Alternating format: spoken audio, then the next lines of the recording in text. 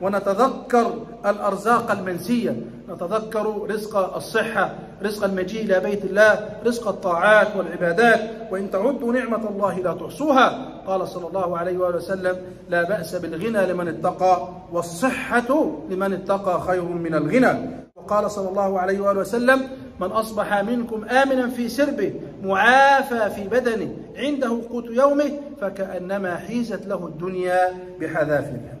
ومن الأمور التي تعيننا على القناعة أن نجعل همنا الآخرة وأن نكون من الأكياس الأذكياء الفطناء وأن نخرج من ضيق الدنيا إلى ساعة الآخرة. وقال صلى الله عليه وآله وسلم حينما سئل وقيل له يا رسول الله أي المؤمنين أكيس؟ يعني أي المؤمنين هو الذكي الفطن؟ أي المؤمنين أكيس من الكياسة أي الفطانة؟ فقال صلى الله عليه وآله وسلم أكثرهم للموت ذكرى وأحسنهم لما بعده استعدادا.